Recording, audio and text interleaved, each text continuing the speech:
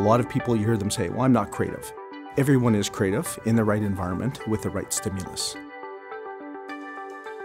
One of the things we do is we have two lines of people set up, and you have someone across from you, and you tell them their idea, and they give you feedback. And the idea is over time, you get two, three, four people giving you feedback. It is surprising what happens when you get that diversity of thought. The insurance industry is it's ripe for a shakeup. This isn't optional for us. It's reinvent yourself or, or face the consequences.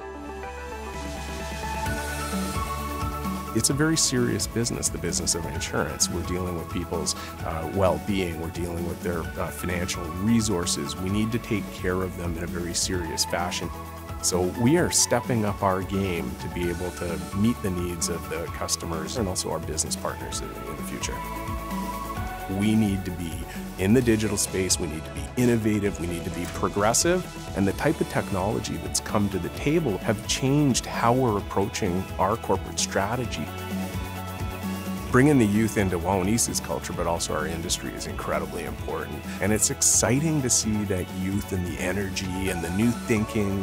You know, you have to have talented people. So if you look around the room that we have here, uh, this innovation lab did not exist six months ago. Innovation Lab is all about our customer and broker experience to make sure we're meeting the needs of a modern consumer.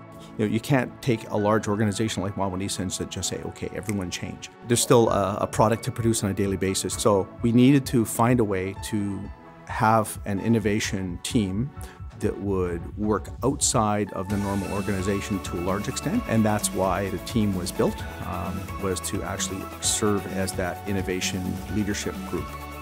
One of the things we do is we bring people into the from our IT team into the lab to look at new disruptive technology like artificial intelligence, blockchain, and figure out how do we apply those to our problems. We need to put exciting technology in front of everyone, not just our consumers, but also our employees. We've been around for over 120 years. It's our job as the current leadership of our uh, business to make sure that we're going to be successful for another 120 years. And that means being progressive, being innovative, being digital.